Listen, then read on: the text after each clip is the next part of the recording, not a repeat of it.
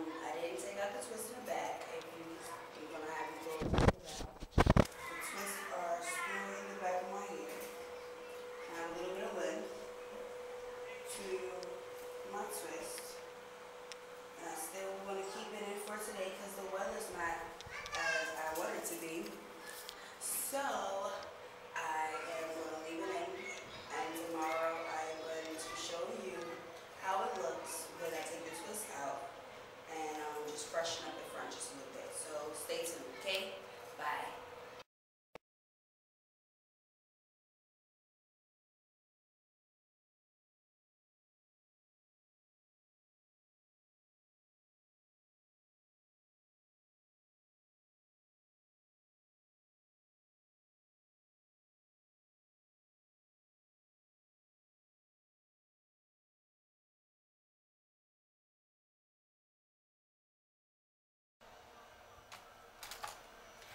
It's me Kels and I'm just keeping you updated on day two of the hump, the flat twist, and the two strand twists out.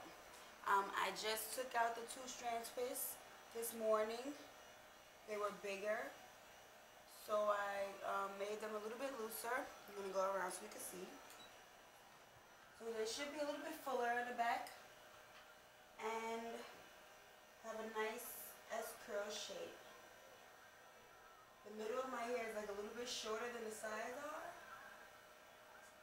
but it's okay for me because I like to cut my hair and I like to have it short. I think I cut about three inches so far and I haven't been a year from the big chop yet, but um, this protective style I love because I this is day two and it already look neat.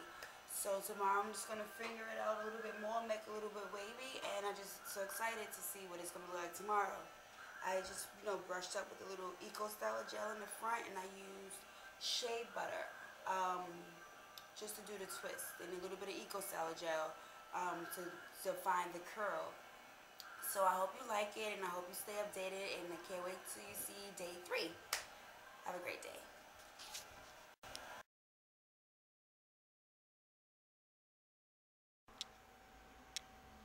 Hey guys, thanks for checking me out. Um, this is day three of the two strand twist, the hump and the flat twist, and I decided to accessorize it with the headpiece today. So I'm gonna let y'all see the back and see how it is. Still have the bounce, a little bit of frizz, and just a little bit of shine still, the moisturizer. So I hope that you enjoyed this hairstyle and the review. I just created something simple that I can wear in a protective style that I wasn't really bothering with. So I really do hope you like it. And anytime a style get old, you can always accessorize it. Thank you for watching. Stay up.